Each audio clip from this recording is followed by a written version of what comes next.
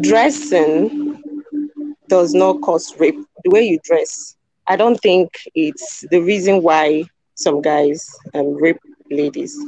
Because I'm going to use myself um, as an example because I'm a victim, and uh, I would love to share this story on life. So it happened that 2009, I was living with a family. Then I was 12. Their first son was 30 then, and the couple they are el- they are they, they are aged already and they travel all the time. So we have to stay with their son. And um, one of their grand granddaughter that was at of seven eight years old. At first i didn't on i didn't know maybe he's a psychopath. I don't know if he's a psychopath but he called me on a normal days that i should come and help him with something in his room. So I walked into the room and uh, he locked the door. Luckily for me, in the compound, we have a tenant. So I started screaming, and those people that, that rented the, the room, they came out, and that was how they saved me. Mm-hmm. So are you trying to tell me that I was dressing um, immorally, mm-hmm. and that's the reason why he behaved so, um, in such manner. So I don't think the way you dress um, will attract a man to rape you. Anybody that sees it that way, I think the person is possessed by an evil spirit. I don't think your the way you dress does not relate to raping at all. And that's what I can say about dressing code in rape.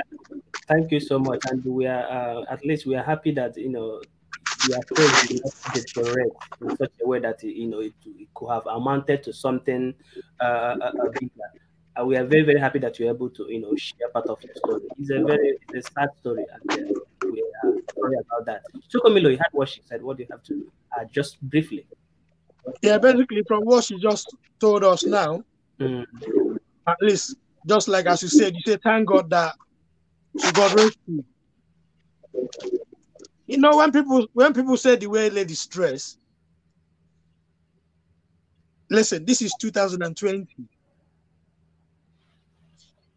As early 90s, the kind of cars Mercedes they drive then is not the kind of Mercedes we drive now. 90s, we used to have one night um 200 V boots and the rest of them. But now we drive G Wagon, E class, S class. So how do you expect a modern a, a modern a modern age girl? This is 2020 to dress like our mothers in the 90s. Dressing has nothing to do with rape.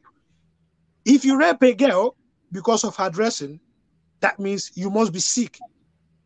Something must be wrong with you. That means you, you won't be able to live in the Western world, anyways. Because let's say, let me use London as an example. Like it's summer right now here. If you come to the street on a very good sunny day, you see girls, even more of our black girls, walking on the road naked. You won't even say nothing. You can only just look and go, and you can't even look for like. I, I want us. I want to her to notice that I'm looking at because if she turns around and find out that you're looking at her, she's going to come after you and she will win the case. So if you're in Nigeria taking advantage of our sisters, and more especially all these our brothers that used to go to the village and get some girls to be their house girl. Some of them molest those girls. They molest them. They rape them. You see a girl of 10, 11, 12, 13, 14, 15 years, what has the addressing got to do with their, their uncles or whomsoever that they live with?